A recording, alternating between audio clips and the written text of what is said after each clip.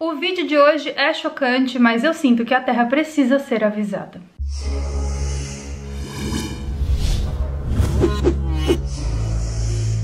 Mike Zukowski é um policial encarregado de cuidar de uma inteira área florestal no Colorado, nos Estados Unidos. E ele estava investigando um caso seríssimo de mutilação de vacas e cavalos. Isso nunca tinha acontecido na região do Colorado, mas isso era muito comum na região central dos Estados Unidos, porque nessa região já foram encontradas milhares de vacas e cavalos deitados pelo lado esquerdo do corpo, com os órgãos 100% removidos e com cortes cirurgicamente precisos em formato circular. Além disso, esses animais também foram encontrados 100% drenados de sangue, o que significa que o sangue foi tirado do corpo e nenhuma marca foi deixada para trás. Tudo isso começou na década de 60 nos Estados Unidos, só que foi um fenômeno tão grande, mas tão grande, que na década de 70, uma equipe de policiais regionais do centro-oeste dos Estados Unidos pediram ao governo federal que eles demandassem uma investigação. Então, 70 prefeitos dos Estados Unidos se uniram e demandaram do governo federal essa investigação. O FBI então enviou mais de 100 agentes de campo para poder investigar o que estava acontecendo com esses animais. E essa investigação toda durou cerca de 10 anos. Agora, adivinha o que eles encontraram? Nada. Nunca ninguém foi preso, nunca teve nenhuma impressão digital deixada para trás, nenhuma pegada no chão e essas vacas são simplesmente encontradas do dia para noite, largadas no meio do pasto. Quando isso começou a acontecer no Colorado também, começaram a suspeitar, obviamente, que isso não estava acontecendo por causas naturais, mas sim por vocês sabem quem. Quando esse cara, o Chuck, propôs aos superiores dele que esse caso era um caso de investigação alienígena alienígena, adivinham o que aconteceu com esse cara? Ele foi demitido, óbvio. E isso é o que normalmente acontece quando você começa a falar sobre esses assuntos. Se você trabalha em determinado cargo e você fala sobre esse assunto, você é demitido. Se você tem um canal no YouTube, seus vídeos começam a desaparecer sem nenhuma causa aparente, sem nenhuma explicação. Eu não sei onde, mas eu vi isso acontecendo em algum lugar, eu só não consigo me lembrar em qual lugar foi. Bom, foi então que esse cara, esse policial, o Chuck, ele decidiu virar caçador de alienígenas. Então ele comprou um motorhome bem grandão, encheu o motorhome de aparelhos, colocou toda a família dele e foi começar a investigar esses casos. Ele começou por essas cidades que são famosas em e histórias de alienígena e tal. A família dele não acreditava no que ele estava falando e inclusive a mulher dele era 100% cética sobre esse assunto. Foi então que ele começou a fazer algumas descobertas estranhas. Acontece que a grande maioria dos avistamentos de OVNIs nos Estados Unidos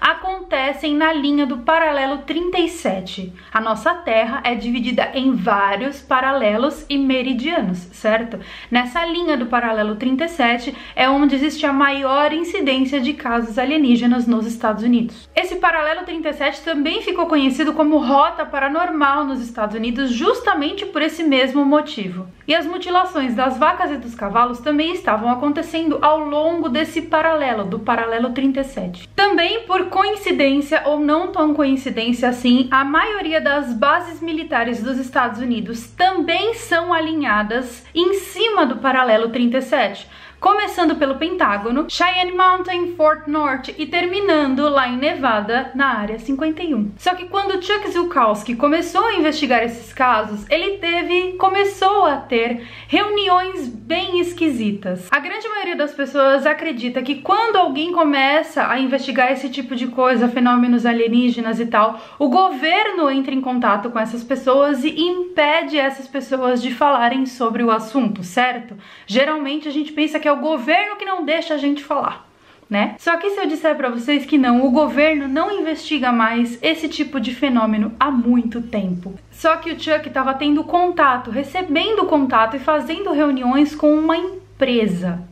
Que empresa é essa, Carol? E é nessa hora que a nossa conversa fica ainda mais tensa. Robert Bigelow ficou bilionário nos Estados Unidos porque ele é o dono de uma grande cadeia hoteleira nos Estados Unidos, o Budget Suites of America. Mas por algum motivo muito estranho, ele colocou toda a fortuna que ele ganhou a vida inteira nessa empresa chamada Bigelow Aerospace. Basicamente, o cara que tinha uma cadeia de hotéis agora tem uma empresa de engenharia aeroespacial.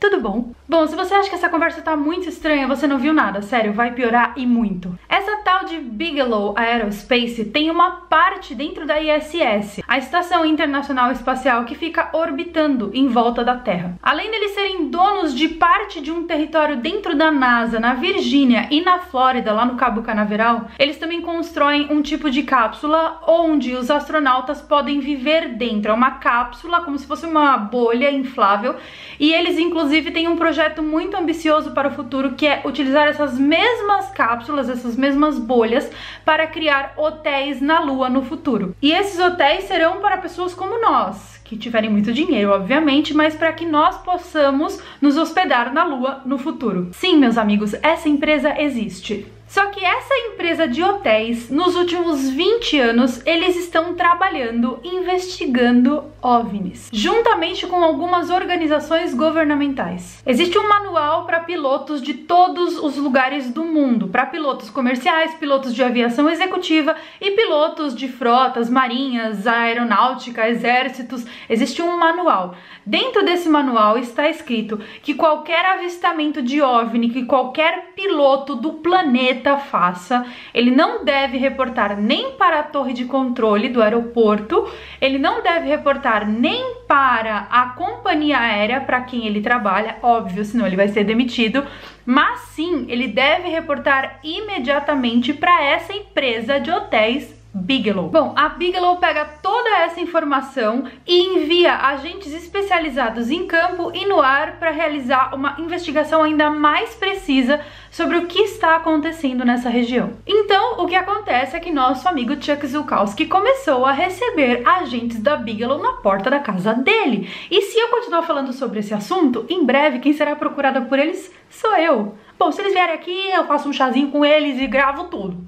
Bom, essa história toda foi se desenrolando, desenrolando até chegar em Roswell, no estado do New Mexico, nos Estados Unidos. Se você conhece a história de Roswell, você sabe o que eu tô falando. Agora, se você nunca ouviu falar a história de Roswell, eu vou resumir elas aqui para você rapidinho, com algumas informações extras. Embora toda essa história tenha sido encoberta por anos, a realidade que aconteceu nessa cidade é bizarramente fascinante. Em 1947, a primeira base nuclear americana foi construída em Roswell, com o nome de Walker Air Force Space. Essa base nuclear começou a rastrear um objeto não identificado no meio de uma tempestade. Aquilo que estava sendo rastreado, seja lá o que for, foi atingido por um raio dentro dessa tempestade e caiu no chão, causando um impacto que espalhou uma espécie de metal não identificado por exatos 247 quilômetros quadrados. Essa coisa que caiu em Roswell caiu dentro de um rancho da cidade.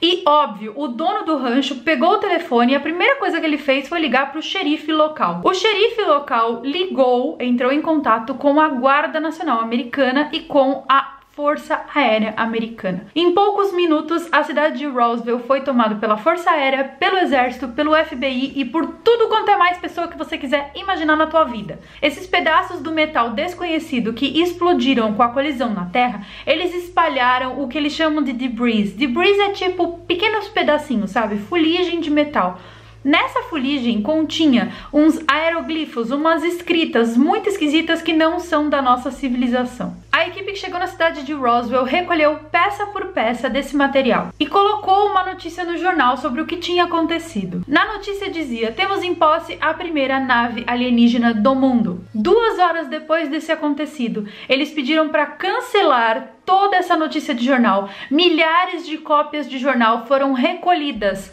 porta a porta na casa das pessoas nessa cidade. Eles pegaram tudo aquilo que eles tinham, todos aqueles pedaços de metal, mas o jornal, a porcaria toda que tinha ali naquela cidade, colocaram dentro de um avião. A primeira parada desse avião foi em Dallas, no Texas, onde eles fizeram uma foto em estúdio falando que aquilo que tinha caído em Roswell na verdade era um balão meteorológico. Todas as pessoas envolvidas no caso, todas, o fotógrafo, a pessoa que tirou a foto, a pessoa que estava na foto, disseram que era mentira, que era uma foto feita em estúdio. E essas pessoas envolvidas tiveram que mentir sobre o que tinha acontecido. Em todo caso, o destino final desses materiais recolhidos, adivinhem para onde foi? Para a área 51. E permanece lá até hoje. Qualquer motivo que seja que a Força Aérea Americana tenha para não liberar para o público esses assuntos, um pouquinho antes das eleições americanas, a Hillary Clinton estava no programa do Jimmy Kimmel. E ela estava dando uma entrevista falando sobre a campanha dela e ela disse que a primeira coisa que ela faria se fosse eleita era liberar essas informações de OVNIs para o público geral. Agora, vocês já sabem por que Hillary Clinton não ganhou a eleição. Todos os presidentes americanos que tentaram liberar essa informação para o público foram impedidos de alguma forma. Jimmy Carter, Ronald Reagan, o Bill Clinton tentou liberar essas informações e, óbvio, a Hillary Clinton disse que iria liberar esses assuntos. Já o Donald Trump, a gente não sabe mesmo. E eu vi alguns dos documentos desse arquivo e todos os documentos até hoje, passado mais de 60 anos, nenhum dos documentos sabe exatamente que tipo de material era aquele que caiu em Roswell. Depois de todas essas explicações que eu dei e depois de tudo que eu falei sobre o paralelo 37, tudo nos leva a crer que existem muitas coisas que estão escondendo da gente. Porque a realidade é que toda vez que alguém alega acreditar nessas coisas, a pessoa é tida como louco. Todo mundo que fala sobre esses assuntos é louco, não é?